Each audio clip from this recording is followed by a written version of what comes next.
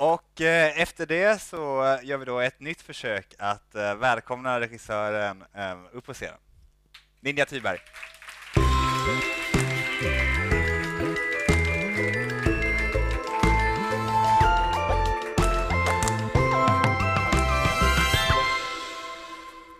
Välkommen! Tack. Kul att ha dig här. Um, vi har ju sett din uh, kortfilm Pleasure um, um, om en uh, inspelning av en pornografisk film. hur ser din egen relation till pornografi ut?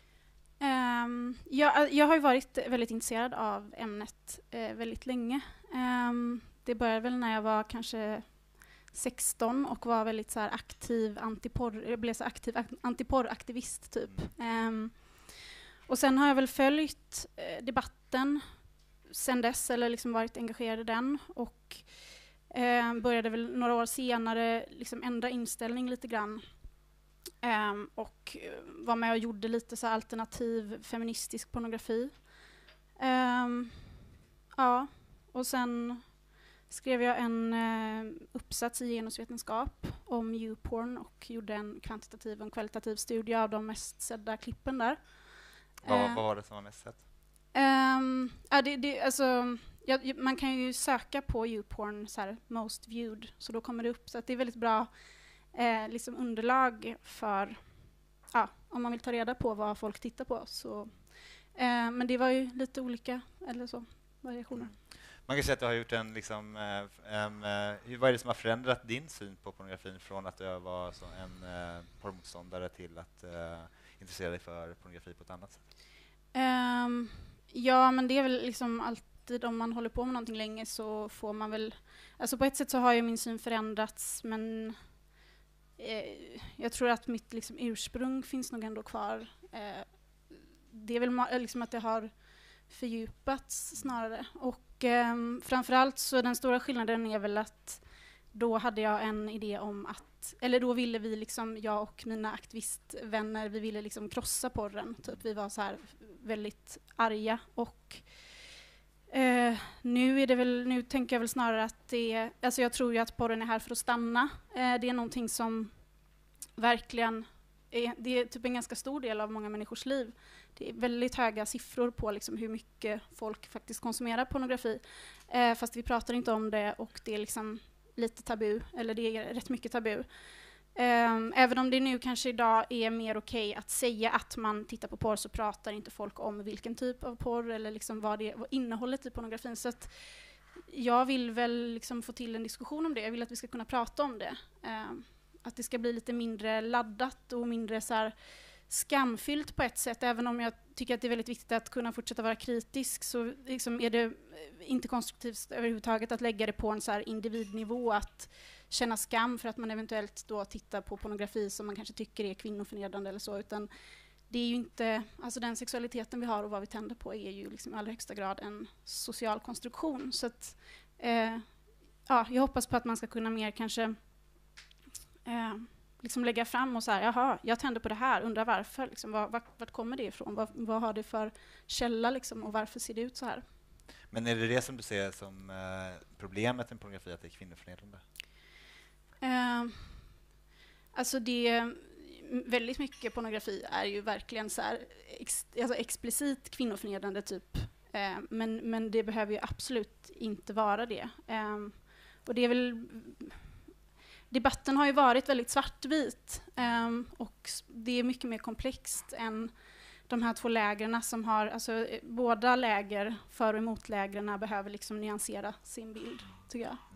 Och jag menar, det, det, är också, det blir lite grann när man pratar om porr som att man säger porr som att det är en sak. Men det finns ju liksom hur mycket porr som helst. Och det är ju inte någonting dåligt i sig att, alltså att titta på sexskildringar eller att vara, eller så här, jag tror inte att det i sig, i sig självt behöver vara någonting skadligt för människor som medverkar eller konsumerar. Så det är väl snarare, liksom, det är ju um, en, en väldigt stor likriktning inom mainstream-pornografin eh, som är problematisk både för de människorna som är med eh, i det, alltså till exempel sådana här grejer liksom som eh, det blir extremare och extremare hela tiden. Det är väldigt, liksom, pornografin idag handlar ju mycket om att eh, tänja på gränser rent bokstavligt. eh, både innehållsmässigt, eller liksom, eh, ja. Men, ehm, eh, ja, och det är klart att det finns massa människor då som utnyttjas och far illa. Ehm, och sen är det ett problem att pornografin på något sätt, eller rätt mycket har eh, patent på explicita sexskildringar. Um, och människan är ju en varelse som lär sig genom att härma. Och när vi inte får se eh, sex på annat sätt än den ganska, som jag då tycker, snedvridna typen av sex som är i, den, i en stor del av mainstream-pornografin, så påverkar ju det oss på ett dåligt sätt.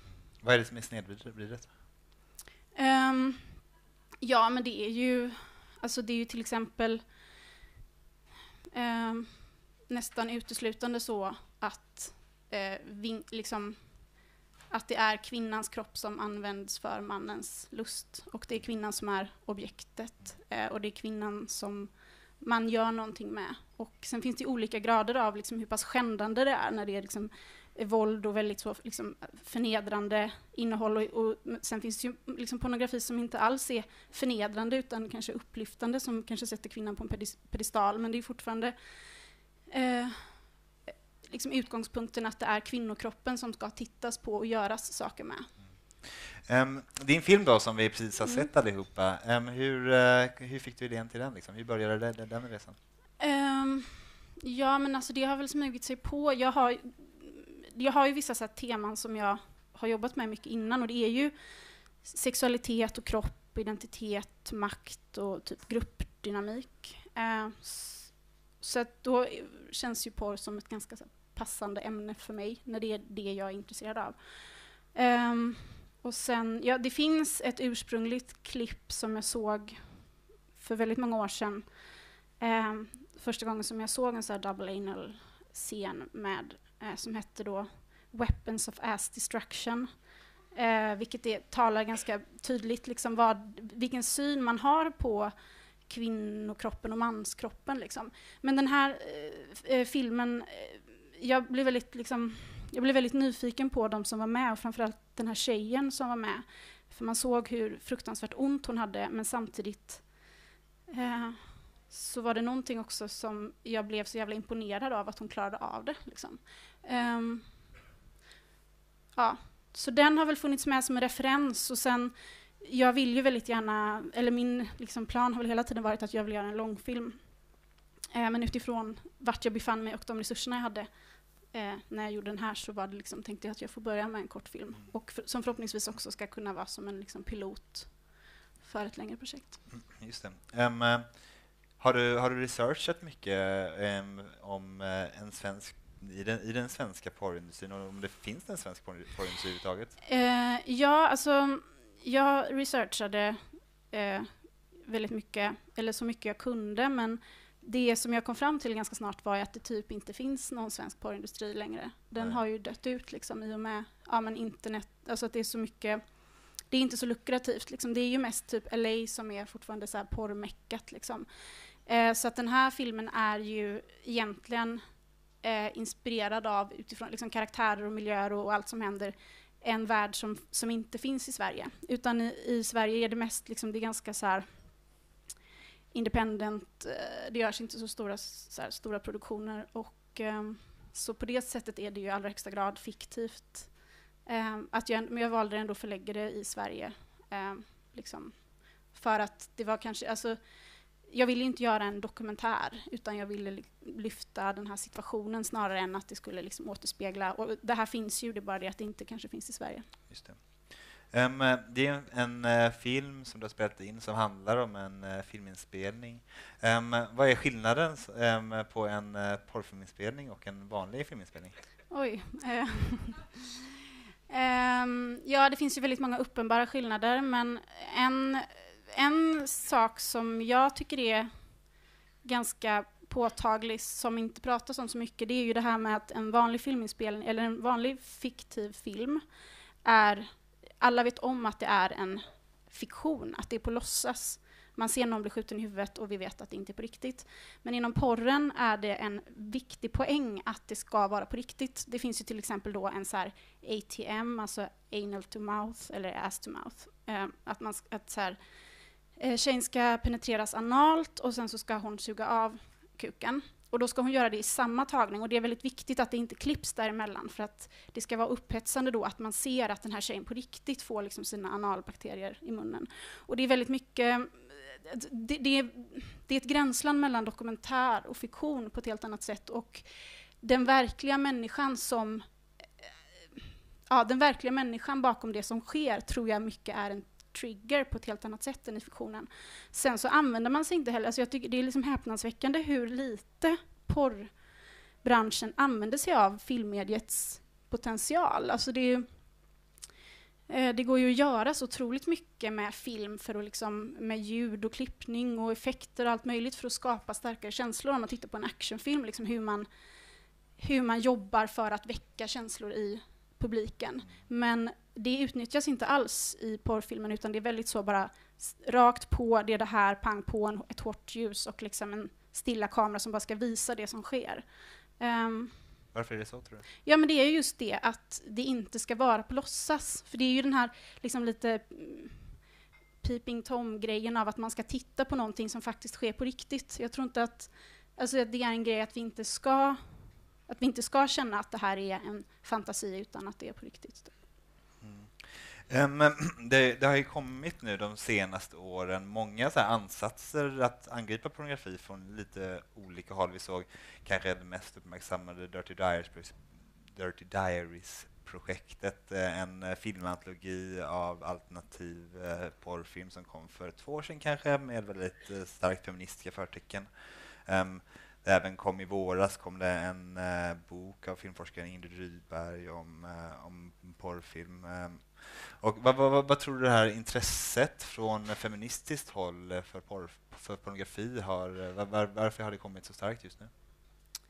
Jag, jag kan väl inte säga, liksom, uttala mig om varför det har kommit just nu, men, men det är ju alltså, i takt med att... Jag menar, så var det ju för, eller den liksom förändringen som jag genomgick personligen var ju att eh, när man, om man bara fokuserar på porr som ett problem eller eh, bara ser förnedringen i det så blir det ju väldigt lätt att man liksom bara reducerar sig själv till ett offer och eh, bara fokuserar på ehm, att man kan bli utsatt och liksom bara se den sidan. Och då, är det, då liksom blir man ju fråntagen en väldigt stor del av...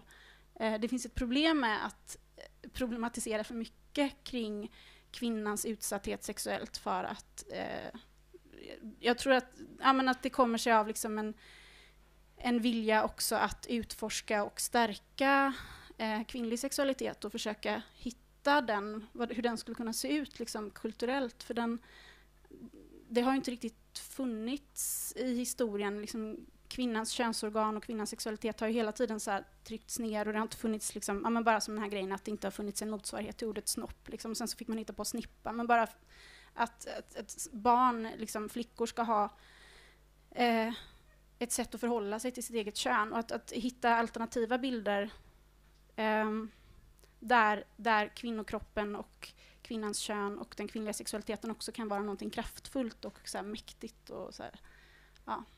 Skulle du själv kunna tänka dig att göra det här mer, eh, inte bara bakom filmer, utan även eh, regelrätt pornografi? Eh, ja, jag har ju gjort det. Mm. Vill du berätta? Um, ja, men jag, har inte, jag har inte regisserat en egen porrfilm. Jag har gjort en, en konstfilm som var så här, en erotisk film. Men det var inget riktigt sex i den. Och sen så har jag fotat en feministisk eh, porrfilm som var mer, ja men verkligen eh, porr liksom. Och sen så har också varit med på en annan eh, typ alternativ lustscen där det också ja, fanns liksom explicit sex. Så. Vad är, vad är skillnaden på en feministisk porrfilm och en så att säga, icke-feministisk porrfilm? Då? Hur ser man det som när man tittar på det? Ja, men det, det kan... Ja, det, jag kan inte sitta här och säga så här, liksom, si och så, men typ, det, handl, det handlar väl bara om att man har liksom en, en, en utgångspunkt ifrån eller liksom att, att det handlar om att eh, lyfta kvinnans sexualitet eh, och bejaka den liksom, och hitta alternativ.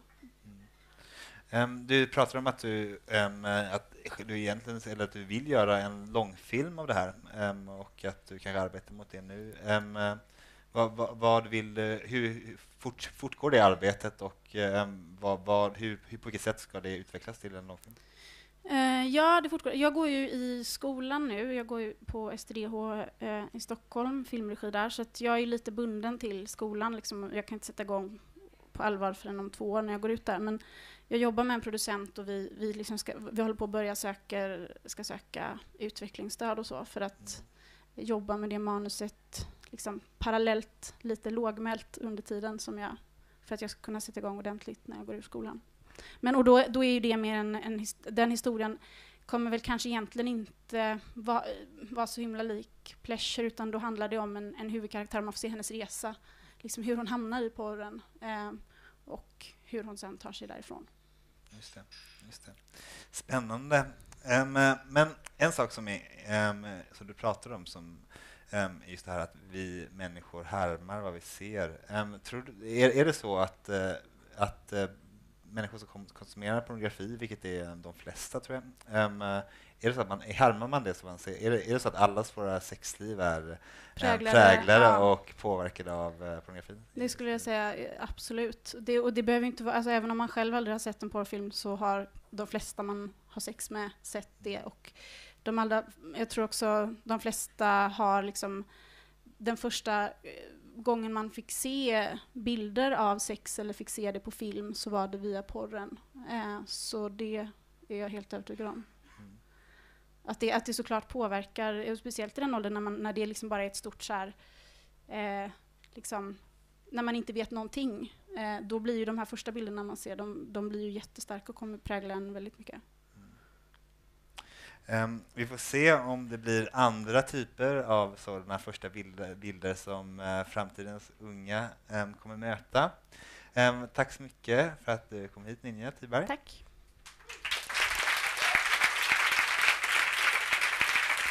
Mm -mm.